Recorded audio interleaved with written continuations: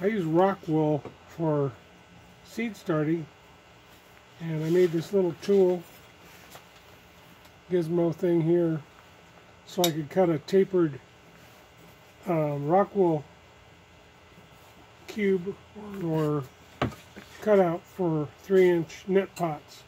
I made this knife out of a piece of saw blade, band saw blade and um, Go around here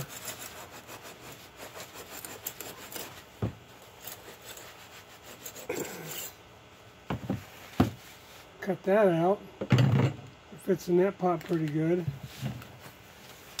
but then to make it work for my seeds, to start my seeds, I core out the center with a piece of, I think it's one inch PVC.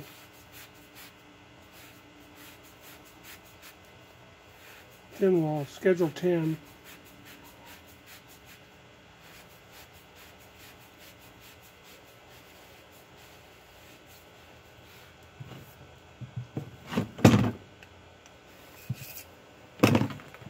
And that gives me my core for starting seeds. I'll put that back in a little short piece like that. And then uh, this is what I made out of a piece of 2 inch PVC with holes cut in it.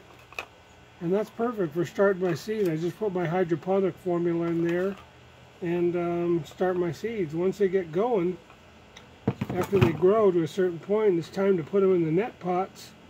Then I push this out and put this back in the center with the plant in there carefully usually it's split this to put it in like I'll put the plant in there I'll do it like that and then this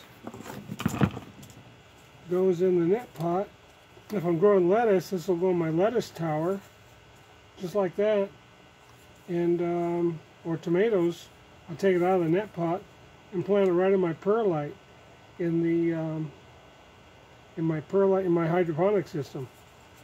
So that's how I do rock wool. Works really well. For a few plants, it works good.